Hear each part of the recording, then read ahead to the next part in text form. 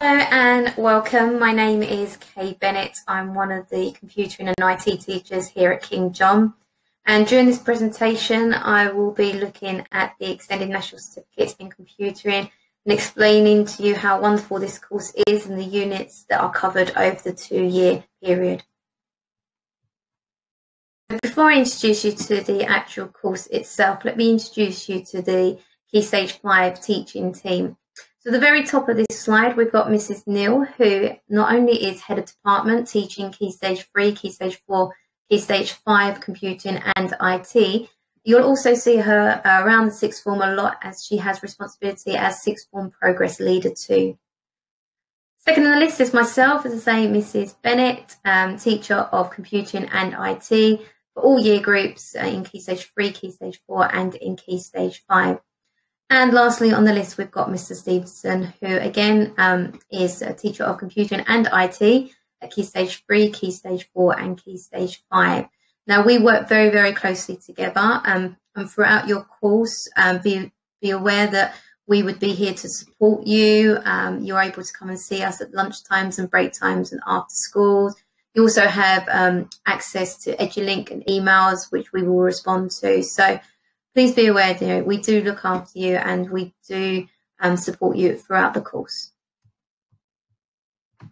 Let's look at the course itself. So as you're aware, this is the National Extended Certificate in Computing. It's the equivalent of one A level studied over a two year period.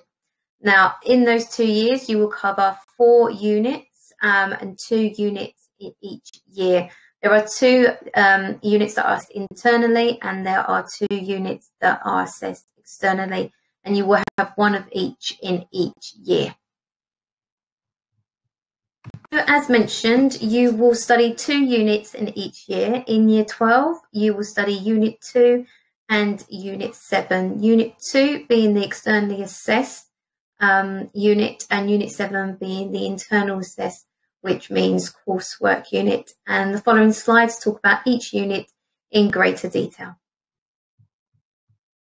We start year 12 with unit 2, the fundamentals of the computer system, which is the externally assessed um, unit in year 12, and the exam for that is in the January of that year. Now, this unit covers a, a range of topics and um, looks at how computers work, how different computers work, how they're used within the industry, um, and looking at different types of platforms that are involved.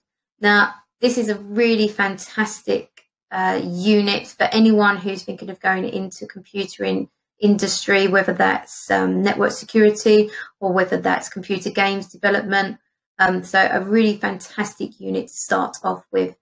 It's um, a development on the GCSE. However, please be aware that you don't have to have studied the GCSE in computing in order to take this course.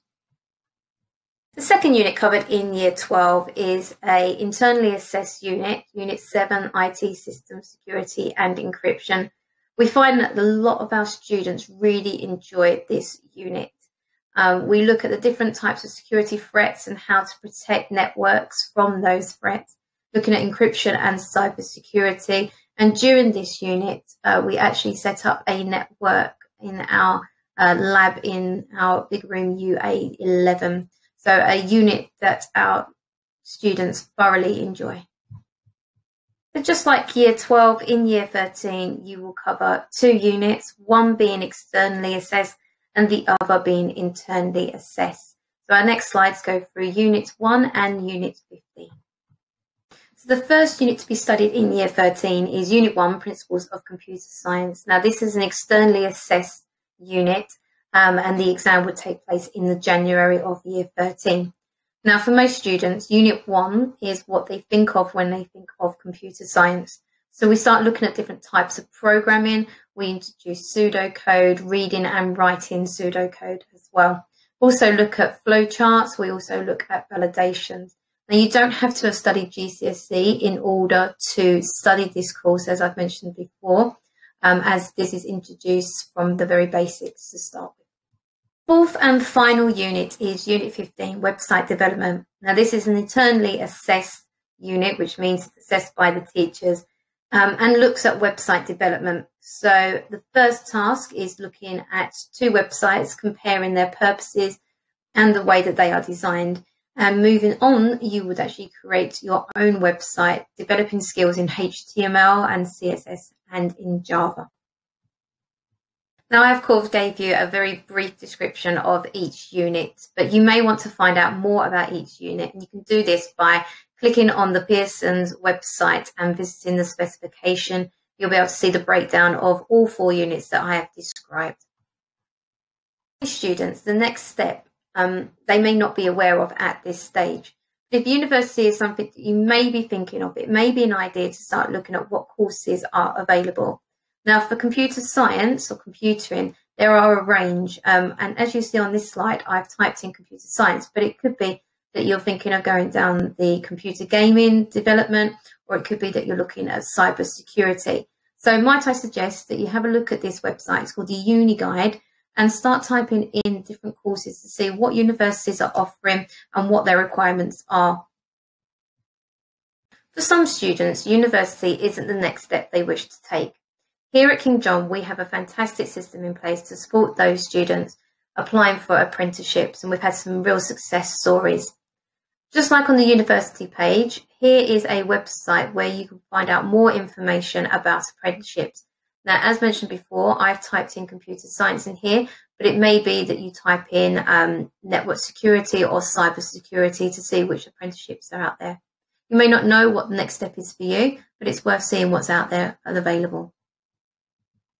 Quite often on Open Evening, we are asked what other subjects um, go alongside studying computing.